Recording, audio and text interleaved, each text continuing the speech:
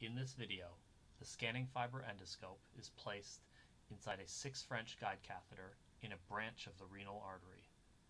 A .014 inch microwire can be seen selecting various branches of the parent artery under direct visual control.